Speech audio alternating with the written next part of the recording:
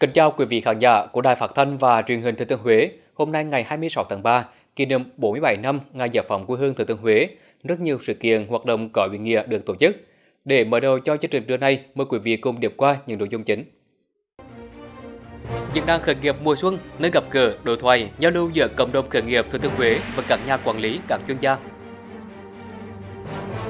Vẫn còn đó nhiều trăn trở không chỉ đối với những người làm công tác bảo tàng mà còn là của xã hội, nhất là nguồn lực đầu tư để phát huy giá trị của hệ thống di tích hiện vật lịch sử cách mạng. Giáo dục sức khỏe sinh sản tuổi dậy thì cần có một phương pháp đúng đắn, phù hợp. Nằm trong khuôn khổ Ngày hội Cổ đô khởi nghiệp 2022, sáng nay, diễn đàn khởi nghiệp mùa xuân đã diễn ra với mục đích đánh giá kết quả hoạt động khởi nghiệp đổi mới sáng tạo trên địa bàn tỉnh, đối thoại giữa lãnh đạo Bộ Khoa học và Công nghệ, Hội đồng Cố vấn khởi nghiệp đổi mới sáng tạo quốc gia, các chuyên gia với cộng đồng khởi nghiệp tỉnh Thừa Thiên Huế. Tham dự có Thứ trưởng Bộ Khoa học và Công nghệ Trần Văn Tùng. Về phía tỉnh Thừa Thiên Huế có Chủ tịch Ủy ban nhân tỉnh Nguyễn Văn Phương, Phó Chủ tịch Ủy ban nhân tỉnh Nguyễn Thanh Bình. Diễn đàn khởi nghiệp mùa xuân đã nhận được bốn báo cáo chuyên đề của các chuyên gia trong lĩnh vực khởi nghiệp đổi mới sáng tạo, bàn về các vấn đề như vai trò của chính quyền và trung tâm hỗ trợ khởi nghiệp sáng tạo trong hệ sinh thái đổi mới sáng tạo mở,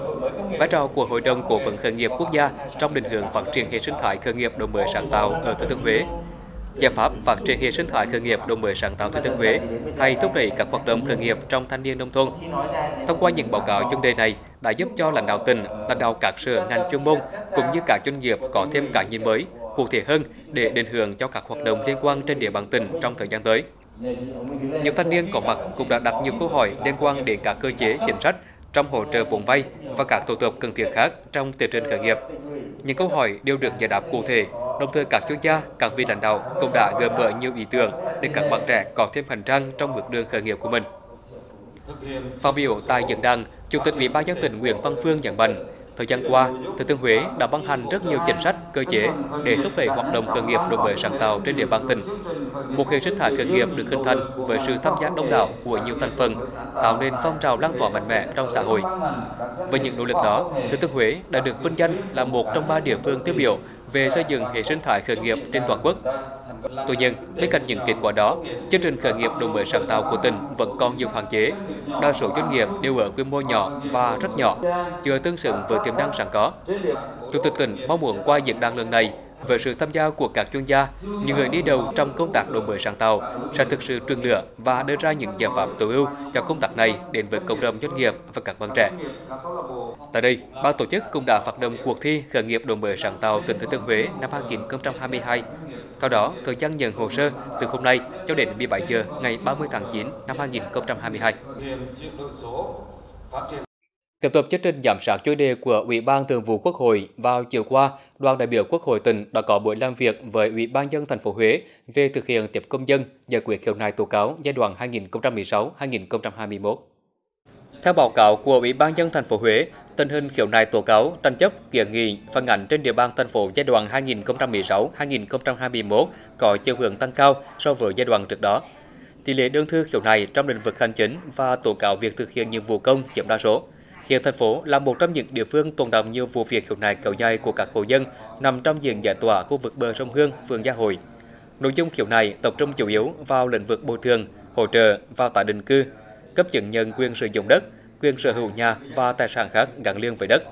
Nội dung tố cáo tập trung vào thực hiện nhiệm vụ, công vụ của cán bộ công chức. Trong giai đoạn 2016-2021, thành phố tiếp nhận 7.298 đơn, trong đó đơn khiếu nại tố cáo là 326 đơn và giải quyết 117 vụ việc. Kết luận tại buổi làm việc, trưởng đoàn giám sát Nguyễn Thị Sửu đề nghị thành phố Huế có giải pháp cụ thể để khắc phục kịp thời những hạn chế đoàn giám sát đã chỉ ra. Trong đó cần nâng cao năng lực, vai trò, trách nhiệm, kỹ năng giải thích, tuyên truyền, vận động của cán bộ công chức làm công tác tiếp công dân, giải quyết khiếu nại tố cáo, tiếp nhận xử lý phân loại và giải quyết khiếu nại tố cáo của công dân theo đúng quy định của pháp luật, tập trung giải quyết đơn thư khiếu nại tố cáo từ cơ sở, hạn chế thấp nhất tình trạng khiếu nại đông người vượt cấp kéo dài. Sáng ngày 25 tháng 3, Hội đồng Nhân dân huyện Phú Vang khóa 7, nhiệm kỳ 2021-2026 đã tiến hành kỳ họp chuyên đề lần thứ tư để thông qua các nghị quyết quan trọng. Tại kỳ họp lần này, Hội đồng Nhân dân huyện Phú Vang đã thông qua 6 nghị quyết, đó là nghị quyết về việc phân chia tỷ lệ nguồn vốn ngân sách huyện và ngân sách các xã thị trấn đối với chi phí đền bù giải phóng mặt bằng và hạ tầng kỹ thuật các khu đấu giá quyền sử dụng đất giai đoạn 2022-2025 nghị quyết về việc bổ sung kế hoạch đầu tư công trung hạn vốn ngân sách nhà nước giai đoạn 2021-2025 huyện Phú Văn. nghị quyết về việc điều chỉnh cơ cấu nguồn vốn thuộc danh mục dự án đầu tư công vốn ngân sách nhà nước huyện năm 2022 nghị quyết về việc điều chỉnh cơ cấu nguồn vốn thuộc danh mục kế hoạch vốn đầu tư công trung hạn vốn ngân sách nhà nước giai đoạn 2021-2025 huyện Phú Văn nghị quyết về việc phân bổ tăng nguồn thu và tiết kiệm chi tiền sử dụng đất ngân sách huyện năm 2021 nghị quyết về việc bổ sung kế hoạch đầu tư công vốn ngân sách nhà nước năm 2022 huyện Phú Vang. Đây là nhiệm vụ rất quan trọng nhằm đảm bảo thực hiện đúng quy định của luật đầu tư công năm 2019, luật ngân sách nhà nước và nghị quyết của Hội đồng nhân dân tỉnh về phân cấp nguồn thu, nhiệm vụ chi và tỷ lệ phân chia ngân sách giữa các cấp chính quyền địa phương tỉnh Thừa Thiên Huế giai đoạn 2022-2025, tạo cơ sở cho việc thực hiện có hiệu quả kế hoạch đầu tư công trung hạn trên địa bàn huyện giai đoạn 2021-2025 đáp ứng nhu cầu phát triển kinh tế xã hội của địa phương. Thưa quý vị, là vùng đất có bề dày lịch sử văn hóa và truyền thống cách mạng vẻ vang, tỉnh Thừa Thiên Huế có một hệ thống di tích hiện vật cách mạng rất phong phú, là địa chỉ đỏ để giáo dục truyền thống cho thế hệ trẻ. Những năm qua, việc gìn giữ phát huy các giá trị lịch sử cách mạng luôn được các cấp các ngành quan tâm. Tuy nhiên, vẫn còn đó nhiều trăn trở không chỉ đối với những người làm công tác bảo tàng mà còn là của xã hội, nhất là về nguồn lực đầu tư, ghi nhận của phóng viên thời sự đến tham quan Bảo tàng lịch sử Huế trong dịp đặc biệt kỷ niệm ngày giải phóng Huế 26 tháng 3. Các sinh viên trường du lịch Đại Huế không khỏi xúc động khi được nghe những câu chuyện hào hùng của một thời kháng chiến đầy khói lửa. Mỗi một hiện vật được trưng bày tại đây đều đã từng nhuốm máu, mồ hôi của biết bao thế hệ cha anh đi trước. Những người đã không tiếc hy sinh sương máu để giành độc lập cho quê hương Thừa Thiên Huế. Qua những bảo vật ở đấy thì em cảm nhận là ừ, cái sự mà hy sinh là rất chi là lớn của những người đi trước và thế hệ của chúng em là tiếp bước và là người truyền lại cái sự yêu nước cũng như là sẵn sàng đứng lên bảo vệ tổ quốc khi mỗi lên tổ quốc cần ạ. Công tác bảo tồn, phát huy giá trị hệ thống di tích cách mạng kháng chiến trên địa bàn Thừa Thiên Huế luôn được các ban ngành và các cơ quan chuyên môn quan tâm. Nhờ đó, di tích cách mạng kháng chiến được giữ gìn khá nguyên trạng. Hiện nay, Bảo tàng lịch sử trực tiếp quản lý 14 di tích, trong đó có 11 di tích cấp quốc gia, 3 di tích cấp tỉnh và phù hợp quản lý 109 di tích. Các tư liệu hiện vật gắn liền với các di tích cũng được lưu trữ, bảo quản và trưng bày tại chỗ để phục vụ các nhà nghiên cứu, khách tham quan. Tuy nhiên, đa phần các di tích vẫn chưa được số đông biết đến, chỉ có khách đến tham quan nhân dịp kỷ niệm hoặc vào dịp lễ Tết. Một trong những khó khăn trong công tác bảo tồn hiện vật hiện nay là hệ thống cơ sở vật chất của bảo tàng không đảm bảo, tình hình xuống cấp nghiêm trọng, trong khi chi phí để di dời, sửa chữa còn khá khiêm tốn, nên công tác di dời các hiện vật đến địa điểm trưng bày mới vẫn còn dở dang. Thời gian tới, bảo tàng tập trung thực hiện các cái phương án sau. Một là xây dựng công tác quy hoạch, thực hiện nghiêm túc cái kế hoạch ờ, các khảo sát, các công trình, địa điểm có dấu hiệu di tích và cũng như tăng cường công tác ờ, lập hồ sơ, quản lý di tích, phát huy giá trị về giá trị di tích, lịch sử của vùng đất và con người với những hình thức khác nhau như tổ chức các sự kiện, hội thảo gắn với các di tích. Đồng thời để đẩy mạnh công tác sơ hóa, bảo tồn, bảo tàng nhằm gắn kết di tích với xã hội, nâng cao ý thức trách nhiệm cộng đồng trong việc chung tay bảo vệ và phát huy giá trị di tích giá trị di sản văn hóa Huế. Để di tích lịch sử cách mạng kháng chiến thực sự là những trang sử rộng đồng, gắn kết cộng đồng, giáo dục thế hệ trẻ về truyền thống yêu nước, đấu tranh cách mạng. Các cơ quan quản lý di tích luôn tập trung để mạnh công tác thông tin, tuyên truyền, quảng bá trên các phương tiện thông tin đại chúng thường xuyên triển khai các buổi triển lãm trưng bày nhân các ngày kỷ niệm dịp lễ quan trọng của đất nước để đưa hiện vật cách mạng đến gần hơn với nhân dân. Bên cạnh đó, các cơ quan quản lý di tích cũng tăng cường phối hợp với các trường học, tổ chức học tập và giáo dục lịch sử địa phương thông qua hệ thống di sản văn hóa tỉnh. Qua đó, giúp thế hệ trẻ, đoàn viên thanh niên có dịp được nghe, hiểu hơn và trân trọng lịch sử hào hùng của dân tộc. Rất là vui và vinh hạnh khi mà được uh, đến thăm và tham quan ở đây vào một cái ngày lễ giải phóng Huế à, 26 tháng 3. Ấn tượng nhất của em là những cái hiện vật ngay tại trước mắt mình đấy ạ, như là xe tăng, máy bay và uh, máy bay trực thăng ở đây ạ. Đây là những ờ, uh, kia ờ, vũ khí, những cái hành trang mà uh, chiến sĩ chúng ta đã ừ, dùng để mà kháng tranh chống Pháp và Mỹ ạ. Cháu cảm thấy rất là bổ ích và uh, có thể tuyên truyền với nhiều nhiều nhiều người khác về uh, các hiện vật này tại vì đấy là vật mà ông cha ta đã phải trải qua rất nhiều khó khăn để mà giành lại thời kỳ độc lập cho chúng ta. Thưa quý vị, chiến tranh đã lùi xa 47 năm, nhưng những trang sử hào hùng, ý chí kiên cường bất khuất của thế hệ cha anh đi trước vẫn in đậm dấu ấn trong tâm trí của mỗi một người dân. Cùng với các di tích lịch sử, những hiện vật cách mạng được lưu giữ và bảo tồn cho đến ngày hôm nay như một lời nhắc nhở các thế hệ trẻ về một thời cách mạng sụp sôi của những ngày tháng 3 lịch sử từ đó nâng cao trách nhiệm gìn giữ thành quả cách mạng, góp phần tô thắm thêm truyền thống tốt đẹp của quê hương Thừa Thiên Huế anh hùng. Tiếp tục với những thông tin khác, vào chiều qua, Hội hữu nghị Việt Lào tiến hành đại hội lần thứ 5, nhiệm kỳ 2021-2026. Trong nhiệm kỳ qua, Hội hữu nghị Việt Lào đã có nhiều cố gắng và chuyển biến trong mở rộng các hoạt động theo hướng ngày càng thiết thực hơn và gắn với quá trình phát triển kinh tế xã hội của địa phương, trong đó nổi bật về các hoạt động củng cố và đẩy mạnh quan hệ với các đối tác nước bạn, thúc đẩy các hoạt động giao lưu giữa các địa phương của tỉnh Thừa Thiên Huế với các vùng lãnh thổ nước bạn Lào, mở rộng quan hệ với các cá nhân tổ chức ưa chuộng hòa bình, có thiện chí và ủng hộ quá trình phát triển ở Việt Nam. Tại hội nghị, nhiều bài tham luận có ý nghĩa thực tiễn, mang tính xây dựng cao đã được đưa ra góp ý, bàn luận nhằm nâng cao chất lượng hoạt động của Hội hữu nghị Việt Lào trong nhiệm kỳ sắp tới.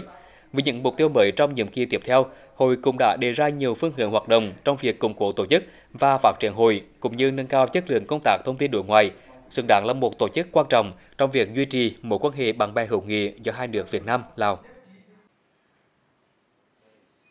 Ngày 25 tháng 3, Ủy ban dân thị xã Hương Trà đã tổ chức cuộc thi sáng tạo thanh thiếu niên nhi đồng năm 2022 với sự tham gia của các em học sinh đến từ 23 trường tiểu học, trung học cơ sở và trung học phổ thông trên địa bàn thị xã.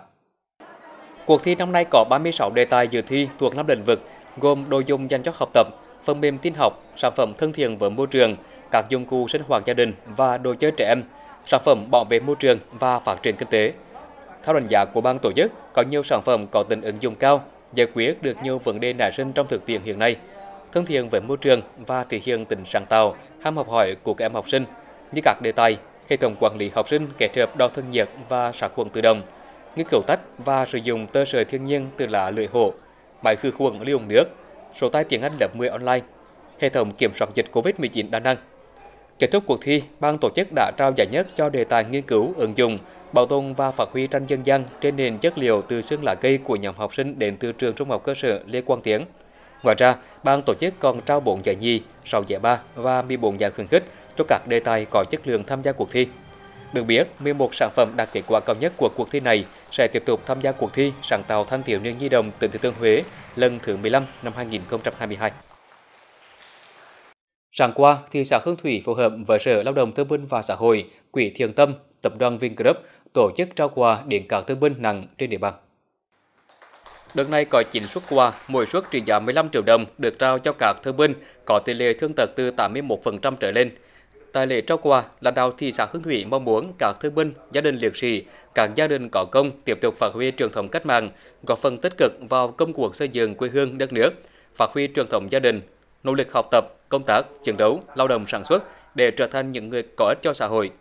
Đặc biệt thời gian qua, các cấp ủy chính quyền, đoàn thể và các doanh nghiệp trên địa bàn thị xã Hương Thủy luôn quan tâm chăm lo đời sống vật chất, tinh thần cho các gia đình có công cách mạng với nhiều hình thức thiết thực như phụng dưỡng các mẹ Việt Nam anh hùng, lập sổ tiết kiệm, hỗ trợ kinh phí xây dựng, sửa chữa nhà tình nghĩa, thăm hỏi tặng quà, hỗ trợ việc làm.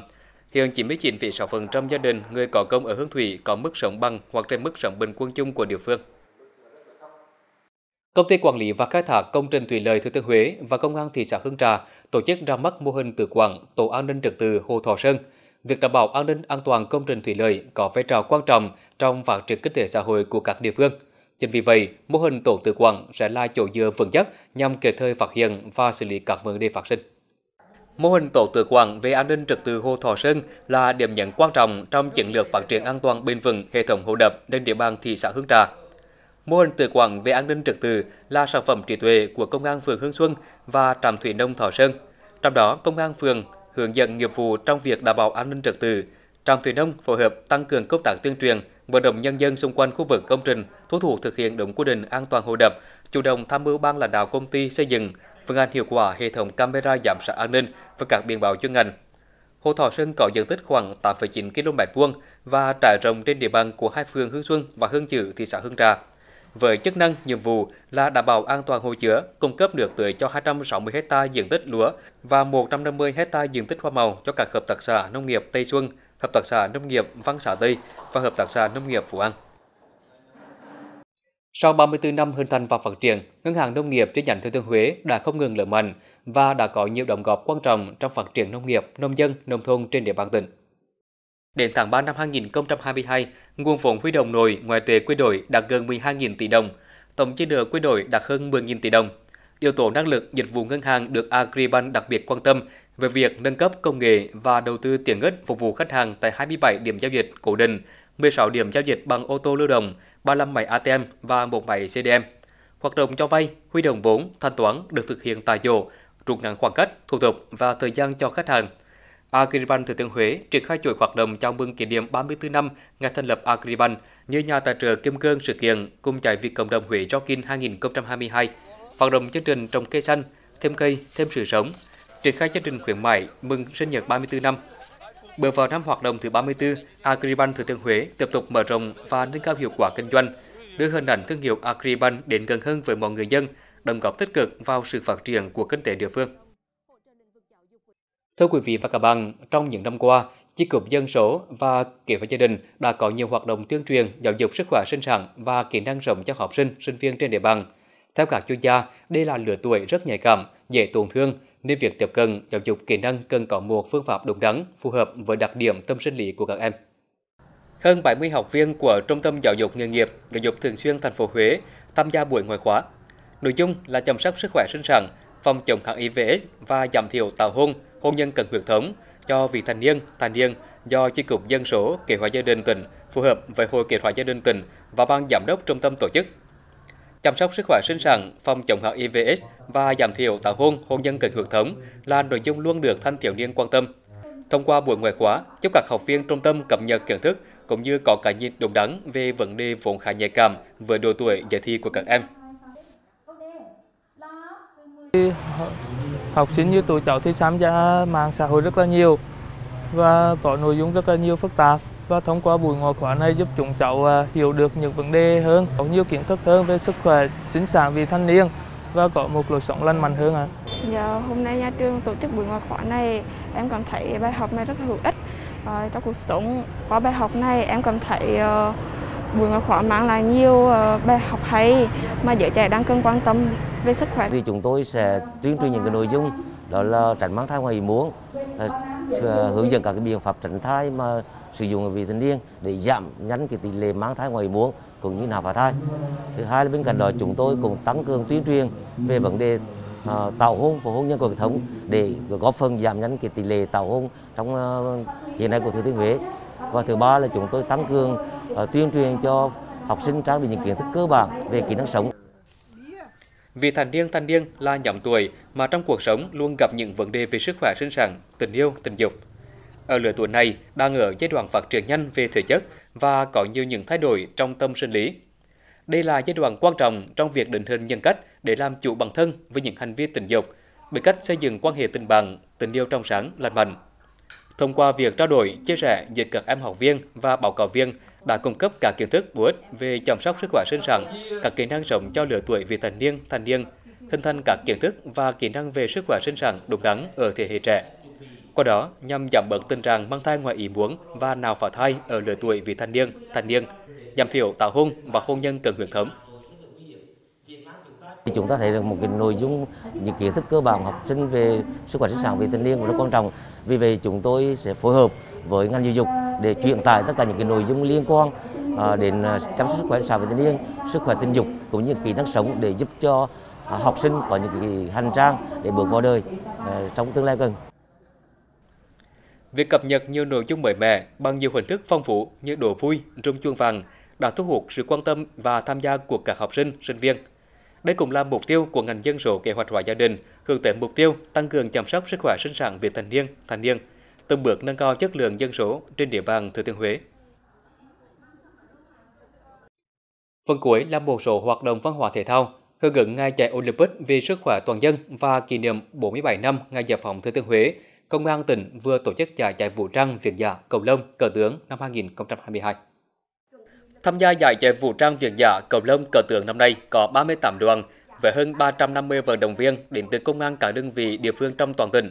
Theo đó, môn cầu lông lần này thi đấu với bốn nội dung đôi nam nữ, đôi nữ, đôi chỉ huy, đồng đội nam. Môn chạy vũ trang Việt giả thi đấu với hai nội dung chạy vũ trang nam và chạy Việt giả nữ với cự ly lần lượt là 3.000m và 2.000m. Từ sáng sớm, ban tổ chức đã điều động các đơn vị có liên quan như lực lượng cảnh sát giao thông và công an các phường tham gia điều tiết giao thông ở các tuyến đường để vận động viên thi đấu và đảm bảo an toàn. Đặc biệt, hưởng ứng ngày chạy Olympic vì sức khỏe toàn dân, hơn 500 đồng chí là lãnh đạo tỉnh, các đồng chí trong ban giám đốc công an tỉnh, đại diện chỉ huy công an các đơn vị địa phương và đoàn viên thanh niên công an tỉnh cũng đã tham gia chạy xuất phát từ đường Trần Cao Vân qua các tuyến đường Đội Cung, Lê Lợi, Hùng Vương để về đích. Kết thúc giải thi đấu, ban tổ chức đã trao giải cho các tập thể cá nhân có thành tích xuất sắc. Trong đó, giải nhất toàn đoàn môn vũ trang Việt giả được trao cho công an huyện Phú Văn, giải nhì công an thành phố Huế, giải ba công an huyện Phong Điền và công an huyện Quảng Điền đạt giải khuyến khích. Ngoài ra, tại các nội dung thi, ban tổ chức đã trao giải cho các cá nhân tập thể có thành tích xuất sắc. Trung tâm Văn hóa Thông tin và Thể thao huyện Phú Văn phù hợp với huyện đoàn khai mạc giải bóng đá thanh niên năm 2022. Tham dự giải bóng đá thanh niên huyện Phú Văn gồm có 16 đội, trong đó 14 đội đến từ các xã thị trấn, hai đội còn lại gồm công an huyện và liên quân huyện ủy và ủy ban nhân huyện. Các đội được chia thành bốn bảng, thi đấu vòng trong một lượt tính điểm, chọn ra hai đội nhất nhì vào vòng tứ kết, thi đấu môn bóng đá nam mini theo luật bóng đá bảy người.